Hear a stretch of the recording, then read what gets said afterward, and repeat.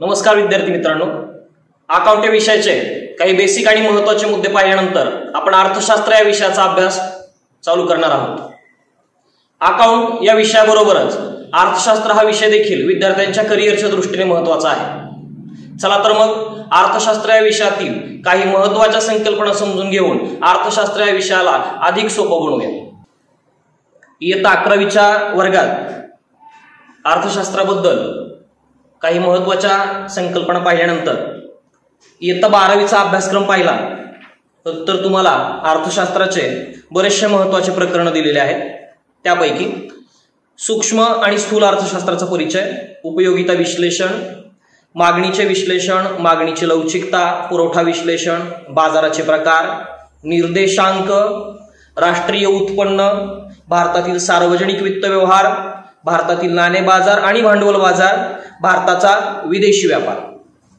तर मित्रांनो आणखीन एकदा स्पष्ट करतो की बारावीच्या या प्रकरणाबरोबरच आपण अर्थशास्त्राची जी प्रत्येक संकल्पना पाहतोय ती प्रत्येक संकल्पना तुमच्या येणाऱ्या पुढच्या अभ्यासाच्या दृष्टीने असेल किंवा तुमच्या करिअरच्या दृष्टीने असेल हे महत्त्वाचे असणार आहे. आपण ज्या ज्या संकल्पना आता पाहतोय ती प्रत्येक संकल्पना असेल किंवा त्यातल्या बऱ्याच संकल्पना असतील या संकल्पना तुम्हाला मोठमोठे जे सिद्धांत असतील ते सिद्धांत समजून घेण्यासाठी उपयोगी पडतील.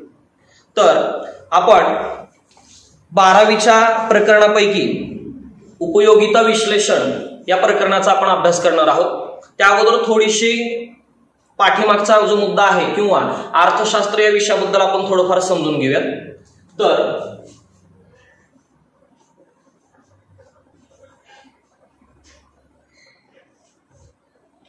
कोणताही विषय समजून घेत असताना त्या विषयासंबंधी त्या विषयाचा नेमका अर्थ काय आहे हे समजून घेणं गरजेचं आहे.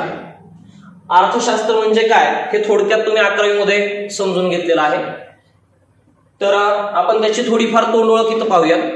अर्थशास्त्र म्हणजे नेमकं काय? तर मानवाच्या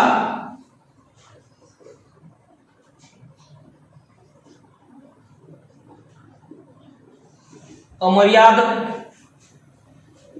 गरजा. मर्यादित परंतु पर्यायी उपयोगाची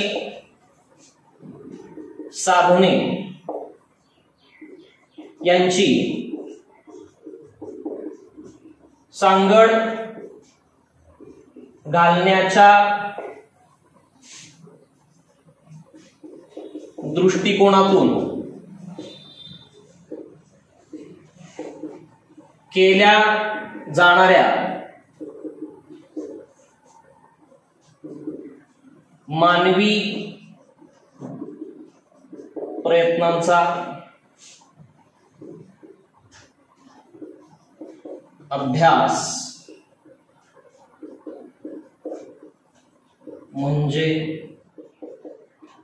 अर्थशास्त्र. होय तर बऱ्याच शास्त्रज्ञांनी अर्थशास्त्राच्या व्याख्या वेगवेगळ्या पद्धतीने केलेल्या आहेत. त्यातली एक सोपी आणि आपल्याला समजून घेण्याच्या दृष्टिकोनातून एक महत्वाची व्याख्या.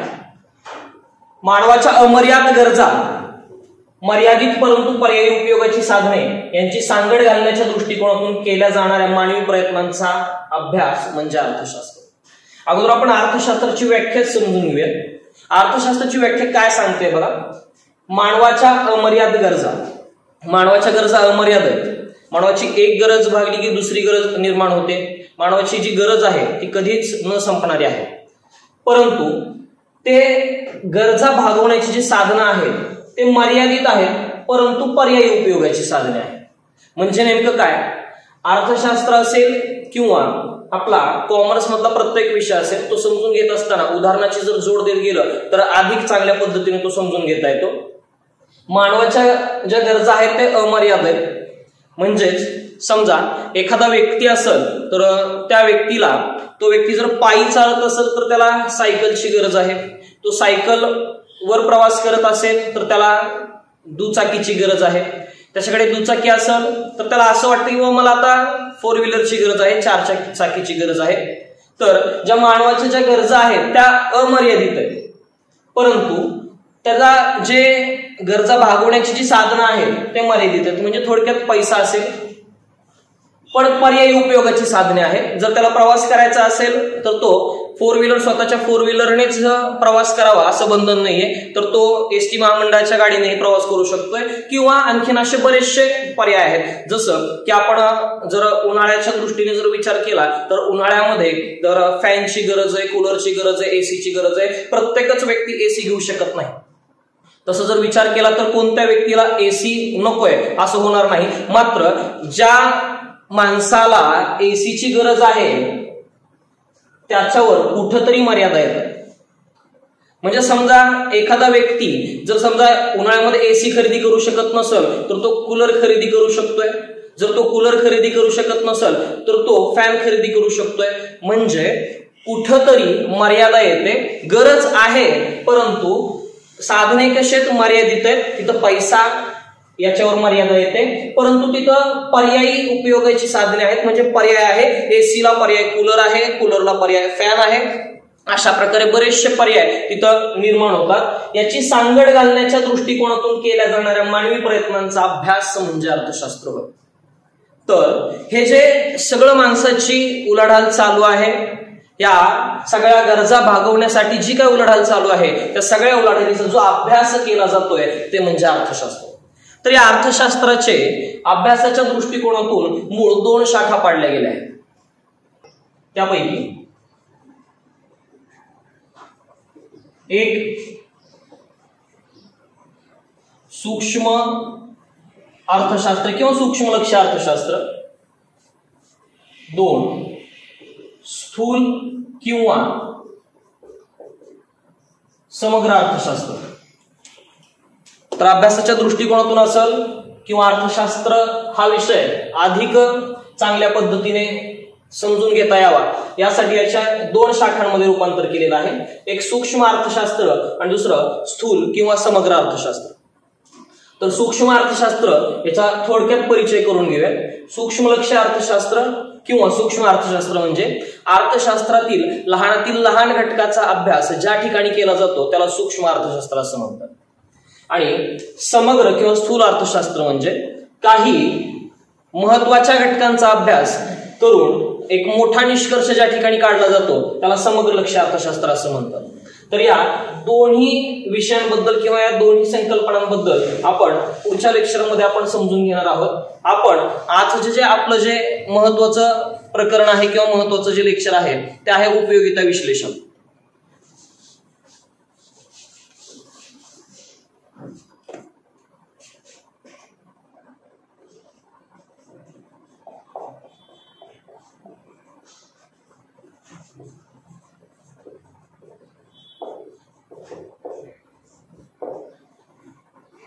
उपयोगिता विश्लेषण. प्रकरण अभ्यासाच्या दृष्टीने मार्किंगच्या दृष्टीने आणि पुढील वाटचालीच्या दृष्टीने बरेचसे महत्वाचं आहे. उपयोगिता विश्लेषण हे प्रकरण समजून घेण्या अगोदर आपण काही शब्दांचे अर्थ समजून घेऊया. त्यापैकी उपभोक्ता.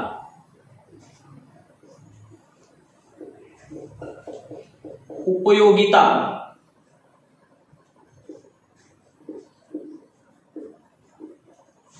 उपयुक्तता. ह्या तीन शब्दांचा अर्थ आपण समजून घेऊया असं पाहिलं भरपूर सोपे शब्द आहेत. उपभोक्ता. म्हणजे वस्तूचा किंवा सेवेचा उपभोग घेणारी व्यक्ती वस्तूचा किंवा सेवेचा वापर करणारी व्यक्ती म्हणजे उपभोक्ता. उपयोगिता म्हणजे वस्तूच्या अंगी मानवी गरज भागवण्याची जी क्षमता आहे त्याला उपयोगिता असं म्हणतात. तर उपयुक्तता म्हणजे त्या वस्तूमध्ये मानवी गरज भागवण्याची क्षमता तर आहेच त्याचबरोबर त्या वस्तूमध्ये मानवाचे हितही जोपासले जाते. त्या वस्तू गरज भागवत असताना त्या वस्तूमुळं मानवाचं कोणत्याही प्रकारचं नुकसान होत नाही याला त्या वस्तूमधील उपयुक्तता असे म्हणतात. उदाहरणार्थ समजा मोबाईल असेल किंवा प्रत्येक वस्तू असेल त्या वस्तूमध्ये मानवाच्या दृष्टीने उपयोगिता आहे. पण प्रत्येक वस्तूमध्ये उपयुक्तता आहे असं नाही. आपण हे पुढच्या दृष्टिकोनातून आपण पाहणार आहोत. उपभोक्ता उपयोगिता आणि उपयुक्तता या तीन शब्दांबद्दल आपण आता काही संकल्पना स्पष्ट केल्या. आपण आणखीन या तीन शब्दांबद्दल थोडस डीपमध्ये पाहूया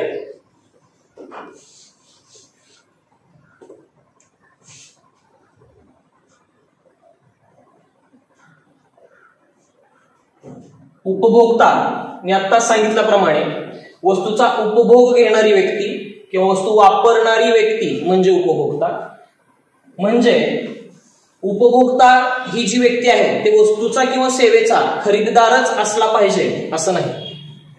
समजा एखादा विद्यार्थी आहे एखादा मुलगा आहे त्या विद्यार्थ्याला किंवा त्या मुलाला त्याच्या वडिलांनी जर पेन आणून दिला तर खरेदीदार हे त्याचे वडील झाले पण उपभोक्ता हा तो विद्यार्थी झाला. कारण तो त्या पेनचा जो वापर आहे त्या पेनचा वापर तो विद्यार्थी करणार आहे म्हणून त्या पेनचा उपभोक्ता झाला तो विद्यार्थी. आपण उपयोगिता ही संकल्पना थोडस खोलात जाऊन पाहूयात. काय आहे उपयोगिता म्हणजे? आत्ताच सांगितल्याप्रमाणे मानवी गरज भागवण्याची जी क्षमता त्या वस्तूमध्ये आहे त्या क्षमतेला उपयोगिता असे म्हणतात. असं प्रत्येक वस्तूचं उदाहरण देता येईल. जसं की हा जो पेन आहे ह्या पेनमध्ये काहीतरी उपयोगिता आहे. हा जो पेन आहे तो सध्या लिहिण्याची गरज भागवत आहे. म्हणून या पेनमध्ये लिहिण्याची उपयोगिता आहे. आपण पाण्याचा विचार केला तर पाणी पित असताना पाणी आपली तहान भागवत आहे. त्यामुळे पाण्यामध्येही उपयोगिता आहे. असं प्रत्येक वस्तूमध्ये काही ना काही उपयोगिता आहे. मग ही जी उपयोगिता आहे या उपयोगितेचे उदाहरण जर आपण समजून घ्यायचं झालं तर समजा एखादं वाहन असेल आता सांगितलेल्या उदाहरणाप्रमाणे एखादं वाहन असेल म्हणजे गाडी असेल तर गाडीमध्ये वाहनामध्ये म्हणजे सायकल असेल टू व्हीलर असेल फोर व्हीलर असेल या वाहनामध्ये तुमची आंतर कापण्याची किंवा अंतर पार करण्याची जी थोडक्यात ती आपली गरज भागवली जाते म्हणजे त्या वाहनामध्ये उपयोगिता आहे. असे बरेचसे उदाहरणं तुम्ही देऊ शकताय. जसं सध्या टीव्ही असेल मोबाईल असेल मोबाईलमुळं तुम्हाला एकमेकांशी संवाद साधता येतोय तुमची गरज भागली जाते ती मोबाईलमध्ये उपयोगिता आहे. आपण पुढची एक महत्वाची संकल्पना पाहिली उपयुक्तता. उपयुक्तता याचा अर्थ सांगत असताना मी सांगितलं की त्या वस्तूमुळे मानवाचं हित जोपासलं जात आहे. म्हणजे ती वस्तू वापरत असताना मानवाचं कसल्याही प्रकारचं नुकसान होणार नाही. तर प्रत्येक वस्तूमध्ये उपयोगिता आहेच मात्र उपयुक्तता असलच असे नाही. फॉर एक्झाम्पल ज्यावेळेस एखाद्या व्यसनी व्यक्ती असेल हे काही मुद्दे तुम्हाला पुढं पण आहेत संकल्पनेमध्ये काही महत्त्वाच्या संकल्पनांमध्ये. समजा एखादा व्यसनी व्यक्ती आहे तो व्यसनी व्यक्ती जर तंबाखूचं सेवन करत असेल तर तंबाखू ची त्याला गरज आहे. म्हणजे त्या व्यसनी व्यक्तीच्या दृष्टिकोनातून त्या तंबाखूमध्ये उपयोगिता आहे. मात्र तो ते तंबाखूचं सेवन केल्यामुळं त्या व्यक्तीला विविध प्रकारचे रोग जडू शकतात त्याला आजार होऊ शकतात. त्यामुळं जरी त्या व्यसनी व्यक्तीच्या दृष्टिकोनातून त्या तंबाखूमध्ये उपयोगिता असली तरी त्या वस्तूमध्ये त्या तंबाखूमध्ये उपयुक्तता नाही. बऱ्याच वस्तूंमध्ये उपयुक्तता असते जसं की औषधं असतील गोळ्या असतील. एखाद्या पेशंटच्या दृष्टीने गोळ्या घेण्याची गरज आहे म्हणजे त्या गोळ्यांमध्ये त्या पेशंटच्या दृष्टीने उपयोगिता आहे आणि उपयुक्तताही आहे. त्या गोळ्यांमुळं तो पेशंट बरा होणार आहे म्हणजेच त्या पेशंटचे म्हणजेच त्या उपभोक्त्याचे त्यामध्ये हित जोपासले जाणार आहे. आपण या प्रकरणाची सुरुवात करत असताना हे तीन महत्त्वाचे शब्द समजून घेतले. आणखीन बरेचसे महत्त्वाचे मुद्दे यामध्ये दिलेले आहेत. तर त्यापैकी आपण उपयोगितेचे वैशिष्ट्ये ही संकल्पना आपण समजून घेऊया तर उपयोगितेची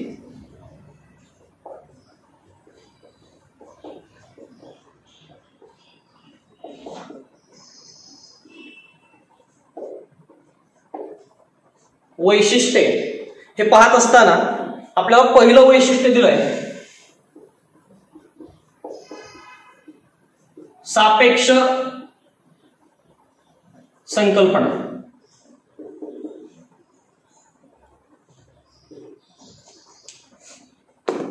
प्रत्येक संकल्पना समजून घेत असताना त्या संकल्पनेमध्ये काही उदाहरणं दिलेले आहेत. त्या उदाहरणे मी समजून सांगलच. त्याचबरोबर आपण आणखीन बरेचसे उदाहरणे याला देऊ शकतो. जेवढ्या उदाहरणांची जोड दिली जाईल तेवढे उदाहरण किंवा तेवढी ती संकल्पना अधिक चांगल्या पद्धतीने स्पष्ट होईल. त्यामुळं प्रत्येक विद्यार्थ्याला एक सूचना आहे की ज्यावेळेस आपण एखादी संकल्पना पाहतोय मी काही उदाहरणं देईल पुस्तकातले काही उदाहरणं असतील. या उदाहरणांव्यतिरिक्त आपण बरेचसे उदाहरणं आठवू शकतोय तिथं नोट डाऊन करू शकतोय तुम्ही तुमच्या स्वतःच्या नोट्स काढू शकताय. तर चला पाहूयात आपण सापेक्ष संकल्पना काय सांगितली गेली उपयोगिता ही स्थल व काल सापेक्ष संकल्पना आहे. ती स्थल परत्वे आणि काल परत्वे बदलत जाते. म्हणजे नेमकं काय? तर उपयोगिता जी आहे त्याच्यामध्ये दोन महत्त्वाचे मुद्दे दिलेत. ही स्थल आणि काल सापेक्ष संकल्पना आहे. स्थल म्हणजे थोडक्यात ठिकाण. ठिकाण बदललं त्या वस्तूची उपयोगिता बदलते. काळ बदलला त्या वस्तूची उपयोगिता बदलते. म्हणजे स्थळानुसार आणि काळानुसार ही उपयोगिता सापेक्ष आहे. आपण उदाहरणानुसार ही संकल्पना समजून घेऊयात. ज्यावेळेस एखाद्या वस्तू वापरत असताना त्याचं स्थळ किंवा ठिकाणामध्ये बदल होतो त्यावेळेस त्याच्या उपयोगितेमध्ये देखील बदल होतो. त्याचबरोबर काळ बदलला याला आपण ऋतू देखील म्हणू शकतो. जसा काळ बदलत जाईल त्या पद्धतीने उपयोगितेतही बदल होत जातो. आपल्याला उदाहरणामध्ये दिलेलं आहे. उदाहरणार्थ हिवाळ्यात लोकरीच्या कपड्यांमध्ये जास्त उपयोगिता जाणवते. समुद्र काठापेक्षा बांधकामाच्या ठिकाणी वाळूमध्ये जास्त उपयोगिता जाणवते. हेच उदाहरण आपण सखोल समजून घेऊयात. ज्या वेळेस समुद्रकिनारी वाळूचे ढिगारे पडलेले आहेत त्यावेळेस तिथं त्याला जास्त उपयोगिता नाहीये. ती मानवाची जास्त मोठ्या प्रमाणामध्ये गरज भागवत नाहीये. मात्र तीच वाळू जर बांधकामाच्या ठिकाणी आणली तर ती मानवाची गरज भागवते. म्हणजे त्या वाळूपासून इमारत तयार होते. म्हणजेच मानवाची तिथं गरज भागल्या जाते. म्हणजेच त्या वाळूमध्ये किंवा समुद्र किनाऱ्याच्या वाळूमध्ये किंवा नदी काठच्या वाळूमध्ये त्या ठिकाणी ती वाळू पडून राहत असेल तर तिथं त्या वाळूमध्ये उपयोगिता नाहीये. पण तीच वाळू जर बांधकामाच्या ठिकाणी आली तर त्या वाळूमध्ये आणखीन मोठ्या प्रमाणामध्ये उपयोगिता निर्माण होते. त्याचबरोबर उपयोगिता ही काल सापेक्ष आहे. म्हणजे नेमकं काय? काळ बदलला ऋतू बदलला की त्यातली उपयोगिता बदलत जाते. पुस्तकामध्ये उदाहरण छान दिलेलं आहे की ज्यामध्ये जे लोकरीचे कपडे आहेत याची जी उपयोगिता आहे हे उन्हाळ्यामध्ये नसणार आहे. लोकरीच्या कपड्यांमध्ये जी उपयोगिता असणार आहे ती फक्त आणि फक्त हिवाळ्यामध्ये किंवा थंडीच्या दिवसांमध्ये असणार आहे. म्हणजे लोकरीचे कपडे आहेत त्याच्यामध्ये उपयोगिता आहे ते मानवाची गरज भागवतोय. मात्र हे कपडे उन्हाळ्यात वापरून चालणार नाही हे जे कपडे आहेत हे हिवाळ्यामध्ये वापरावे लागतील. म्हणजे उपयोगिता ही स्थल सापेक्ष आणि काळ सापेक्ष आहे. उपयोगितेचं पुढचं महत्वाचं वैशिष्ट्य आहे. उपयोगिता ही व्यक्तिनिष्ठ संकल्पना आहे.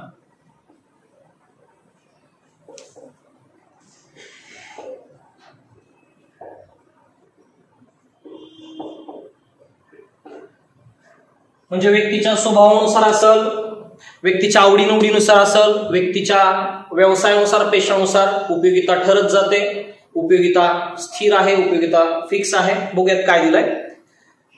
उपयोगिता ही मानसशास्त्रीय संकल्पना आहे. उपयोगिता व्यक्तीनुसार बदलते. याचे कारण व्यक्तीची आवड निवड प्राधान्य स्वभाव पसंती व्यवसाय इत्यादींमध्ये फरक असतो.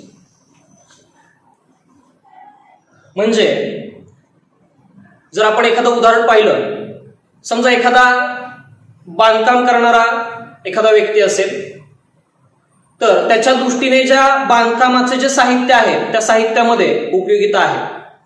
मात्र इतर सामान्य व्यक्तींच्या दृष्टीने त्या बांधकामाच्या साहित्यामध्ये उपयोगिता नसणार त्याच पद्धतीने एखाद्या डॉक्टरचं आपण उदाहरण घेतलं. तर डॉक्टरच्या दृष्टिकोनातून जे दवाखान्यातील किंवा जे हॉस्पिटलमधलं साहित्य आहे त्या साहित्या साहित्यामध्ये उपयोगिता आहे. मात्र इतर जे व्यवसाय करणारे व्यक्ती असतील त्या व्यक्तींमध्ये त्याच्याबद्दल उपयोगिता किंवा त्या साहित्याबद्दल उपयोगिता नसणार आणखीन उदाहरण समजून घ्यायचं झालं तर सध्या मी जे फळ्यावर लिहितो आहे किंवा माझ्या दृष्टीने या पेनमध्ये आणि डस्टरमध्ये उपयोगिता आहे. मात्र तुमच्या दृष्टीने याच्यामध्ये उपयोगिता नाही. म्हणजेच उपयोगिता जी आहे ती व्यक्तिनिष्ठ संकल्पना आहे. म्हणजेच आत्ताच आपण पाहिल्यानुसार व्यक्तीची जी पसंत आहे व्यक्तीची जी आवड निवड आहे व्यक्तीचा पेशा असेल व्यक्तीचा व्यवसाय असेल या प्रत्येकानुसार उपयोगितेमध्ये बदल ठरत जातो. उपयोगितेचं पुढचं वैशिष्ट्य आहे. उपयोगिता नैतिकदृष्ट्या तटस्थ आहे.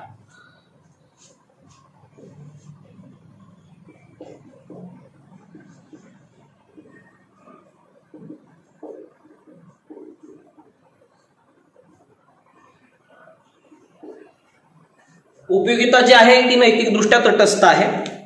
म्हणजे त्या प्रत्येक किंवा प्रत्येक वस्तूमध्येच उपयोगिता आहे. पण ती वस्तू वापरणारी जी व्यक्ती आहे त्या व्यक्तीच्या नैतिकतेनुसार त्या वस्तूमधली उपयोगिता त्या त्या व्यक्तीच्या दृष्टीने बदलत जाते त्या त्या व्यक्तीच्या दृष्टीने तटस्थ होत जाते. म्हणजेच एखादी वस्तू वापरत असताना उदाहरणार्थ पुस्तकामध्ये एक उदाहरण दिलेलं आहे. आपण बघूयात पुस्तकामध्ये काय दिलंय. उपयोगितेच्या संकल्पनेत नैतिकतेचा विचार नसतो ही संकल्पना नैतिकदृष्ट्या तटस्थ असते. वस्तूने चांगले वाईट योग्य अयोग्य असा कोणताही विचार न करता व्यक्तीची कोणतीही गरज पूर्ण करायला हवी. उदाहरणार्थ सुरी किंवा चाकूचा वापर फळे किंवा भाजीपाला कापण्यासाठी गृहिणीकडून केला जातो. तर या वस्तूचा वापर एखाद्याला इजा करण्यासाठीही केला जातो. म्हणजेच आपण जर पाहिलं तर उदाहरणामध्ये सुरी किंवा चाकू म्हणजेच एक चाकू जो आहे तो किचनमध्ये एखाद्या गृहिणीच्या दृष्टिकोनातून किंवा एखाद्या गृहिणीची गरज भागवतोय कशाची? तर भाजी कापण्याची असेल किंवा फळे कापण्याची असेल. तर याच चाकूमध्ये एखादा चोर किंवा दरोडेखोर असेल किंवा एखादा समाजकंटक असेल त्याच्या दृष्टीने वेगळी उपयोगिता आहे. म्हणजे तो दुसऱ्याला इजाही करू शकतो. अशा बऱ्याच वस्तू आहेत की ज्या वस्तूंमुळे चांगलं कामही होऊ शकतं आणि वाईट कामही होऊ शकतं. त्या वस्तूमध्ये उपयोगिता आहे. मात्र तिथं नैतिकतेचाही विचार केला जाईल. वापरणारा उपभोक्त्याची नैतिकता कशी आहे त्या दृष्टिकोनातून त्याची उपयोगिता ठरत जाते. पुढचं उपयोगितेचं वैशिष्ट्य आहे. उपयोगिता व उपयुक्तता यात फरक आहे. उपयोगिता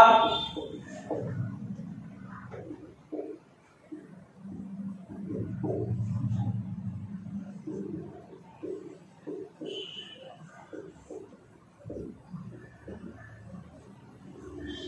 आपण उपयोगिता आणि उपयुक्तता या संकल्पना आपण समजून घेत होतो त्याच वेळेस आपण याचं स्पष्टीकरण पाहिलं होतं. बघूयात आपण पुस्तकामध्ये काय दिलेलं आहे.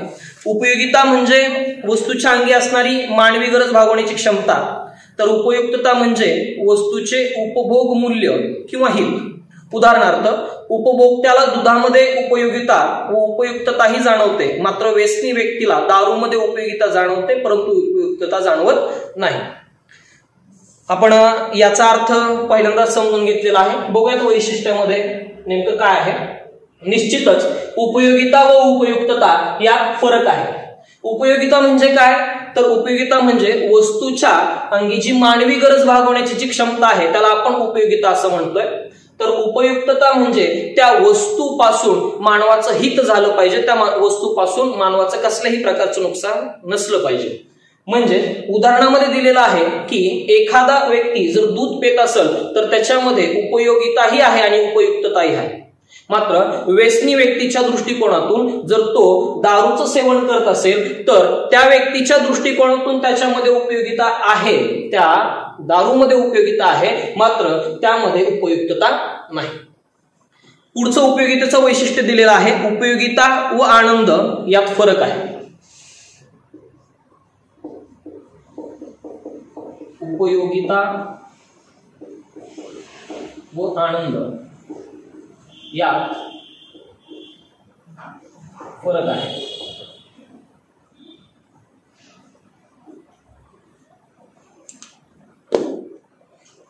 उपयोगिता ही संकल्पना आपण वारंवार क्लिअर करतोय. आनंद या शब्दाचा अर्थ जास्त वेगळा सांगायला नको.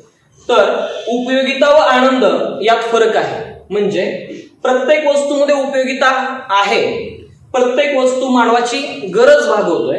मात्र प्रत्येकच वस्तूचा उपभोग घेत असताना मानवाला आनंदच मिळेल असे नाही.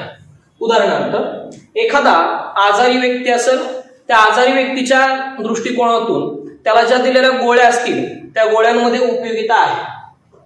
पण बऱ्याच व्यक्तींना गोळ्या घेत असताना आनंद होतोच असं नाही. यातच उदाहरण द्यायचं झालं तर तोच पेशंट आहे तोच आजारी व्यक्ती आहे. त्या आजारी व्यक्तीला जर इंजेक्शन देण्याची गरज असेल तर त्या इंजेक्शनमध्ये त्या आजारी व्यक्तीच्या दृष्टिकोनातून उपयोगिता आहे. म्हणजेच ते इंजेक्शन दिल्यामुळं त्या आजारी व्यक्तीची गरज भागणार आहे तो त्या आजारातून लवकर बरा होणार आहे. मात्र इंजेक्शन देत असताना किंवा त्या तो व्यक्ती म्हणजेच उपभोक्ता इंजेक्शन घेत असताना त्याला आनंद होत असेल असं नाही. म्हणजे ही संकल्पना सांगते की उपभोगी उपयोगिता व आनंद यात फरक आहे. उपयोगितेचं पुढचं वैशिष्ट्य आहे. उपयोगिता व समाधान यात फरक आहे. बघ्यात काय दिलंय? उपयोगिता हे उपभोगाचे कारण आहे. तर समाधान हे उपभोगाचा परिणाम आहे. म्हणजे त्या वस्तूमध्ये उपयोगिता तर आहेच पण त्या वस्तूपासून मिळणारे जे समाधान आहे यामध्ये फरक आहे. उदाहरण पाहायचं झालं तर एखादी तहानलेली व्यक्ती असेल तर त्या तहानलेल्या व्यक्तीसाठी पाण्यामध्ये उपयोगिता आहे. त्याचबरोबर ते पाणी पिल्यानंतर किंवा पाण्याच्या पेत असताना जो अंतिम गोट तो पेणार आहे त्यापासून जे मिळणारं समाधान आहे यामध्ये फरक असणार उपयोगितेचं पुढचं वैशिष्ट्य आहे. उपयोगितेचे केवळ तात्विक मापन शक्य. म्हणजेच आपल्याला पुढे जाऊन उपयोगितेसंबंधी काही सिद्धांत पाहायचे आहेत. त्यामध्ये आपल्याला उपयोगितेचे मापन करायचे आहे किंवा आपण तिथं मापन केलेलं आहे. पण खऱ्या अर्थाने जर विचार केला तर उपयोगितेचे केवळ तात्विक मापन शक्य. म्हणजेच उपयोगिताचे किंवा उपयोगितेचे मापन करत असताना त्यासाठी मापनचा जो भाग आहे त्यामध्ये लिटर असेल किलो असेल किंवा किलोमीटर असेल या पद्धतीमध्ये उपयोगितेचं मापन करणं शक्य नाहीये. तर आपण मात्रा या प्रमाणामध्ये उपयोगितेचे मापन करतो. म्हणजेच काय दिले पाहूयात? उपयोगिता ही मानसशास्त्रीय संकल्पना आहे. ती अदृश्य आहे. त्याचबरोबर संख्यात्मक किंवा आकडेवारीत मापन करणं शक्य नाहीये. उदाहरणार्थ जेव्हा तहानलेली व्यक्ती पाणी पिते तेव्हा मिळणाऱ्या समाधानाची कमी अधिक पातळीतून उपयोगिता जाणवते. म्हणून उपयोगिता फक्त अनुभवता येते आणि उपयोगिता धनात्मक शून्य व ऋणात्मक जाणवते. ऋणात्मक उपयोगितेला नकारात्मक उपयोगिता असंही म्हणतात. जसं की उदाहरण दिलंय एखादा तहानलेला व्यक्ती असं तो पाणी पित आहे. तर पाणी पित असताना त्याला त्या पाण्यापासून किती उपयोगिता मिळाली हे संख्येत सांगता येणार नाही. म्हणजेच किती किलो उपयोगिता मिळाली असेल किंवा किती लिटर उपयोगिता मिळालेली असेल हे त्याला सांगता येणार नाही. म्हणजे उपयोगितेचं केवळ तात्विक मापन शक्य आहे. पुढचं वैशिष्ट्य सांगितलं गेलेलं उपयोगिता बहुपर्यायी आहे. म्हणजेच एकाच वस्तूपासून किंवा एकाच सेवेपासून अनेक व्यक्तींची वेगवेगळी गरज भागवली जाऊ शकते. मला पुढे दिलेलं आहे. उपयोगिता बहुपर्यायी आहे. एका वस्तूमुळे एकापेक्षा जास्त व्यक्तींची गरज भागविली जाते. तसेच ती वस्तू विविध वापरासाठी उपयोगी ठरते. उदाहरणार्थ विजेचा वापर विविध व्यक्तींसाठी आणि एकाच वेळी विविध हेतू साध्य करण्यासाठी होतो. उदाहरणार्थ स्पष्ट केलेलं आहे की उपयोगिता बहुपर्यायी आहे. म्हणजेच आत्ता सांगितल्याप्रमाणे उदाहरणार्थ वीज जी आहे जे आपण लाइट वापरतो आहे त्या लाईटचा वापर वेगवेगळ्या व्यक्तींसाठी वेगवेगळ्या पद्धतीने होऊ शकतोय. जसं आपण एकाच घरातील विचार केला तर कोण टीव्ही बघतोय कोण मोबाईल चार्जिंग करतोय त्याचबरोबर वेगळा विचार केला असेल तर बऱ्याच कारखान्यांमध्ये विजेचा वापर उत्पादनासाठी केला जातोय. कुठं काही वस्तू थंड करण्यासाठी त्या फ्रीजसाठी त्या विजेचा वापर केला जातोय. म्हणजे त्या विजेपासून मिळणारी जी उपयोगिता आहे ती कशी आहे? बहुपर्यायी आहे. पुढचं वैशिष्ट्य सांगितलं गेलेलं आहे की उपयोगिता गरजेच्या तीव्रतेवर अवलंबून आहे. महत्त्वाचा मुद्दा आहे.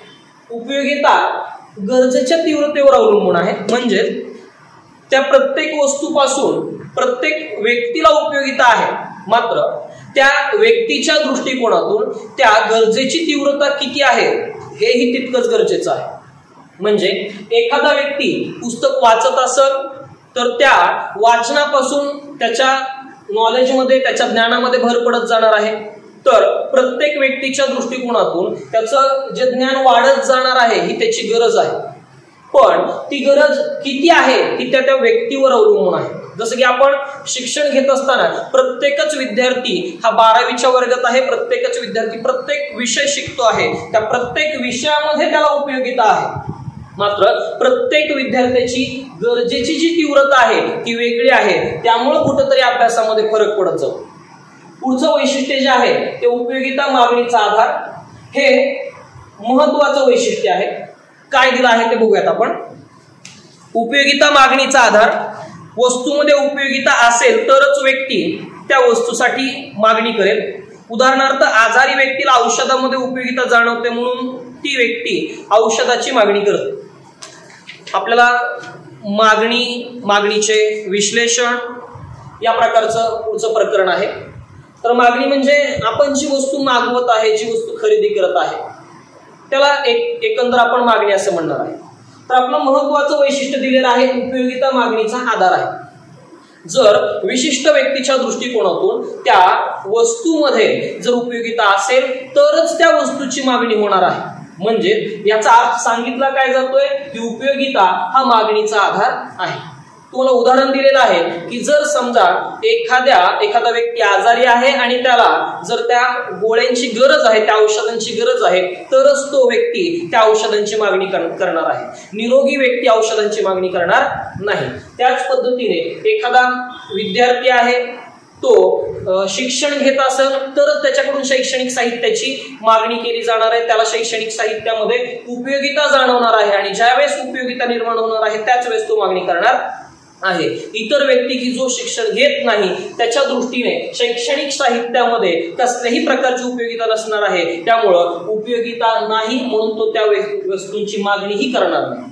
असं कित्येक वस्तूंचं उदाहरण आपल्याला देता येईल. असे आपण एकूण दहा पॉइंट बघितलेले आहेत.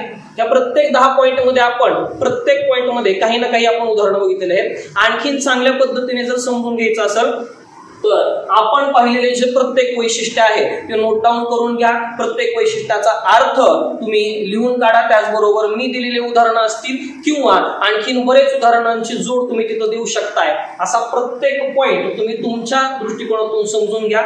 त्याचबरोबर आपण उपयोगितेच्या वैशिष्ट्यांबरोबरच पुढच्या लेक्चरमध्ये आपण याच प्रकरणातील पुढचा महत्त्वाचा भाग पाहणार आहोत.